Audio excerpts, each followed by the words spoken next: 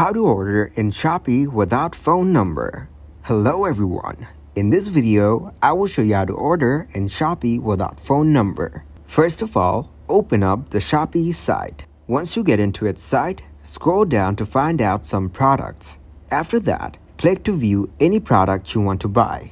Then tap to buy the product for which you have to select the model, color, and the quantity of the product. After selecting the requirements, click to buy it. And in shipping details, enter your email account and skip the phone number. Then tap to check out. So that is how you can order in Shopee without a phone number. Thank you guys for watching this video. Hope you got some value. Make sure to like the video and subscribe to the channel to get notified for new videos. See you in the next one.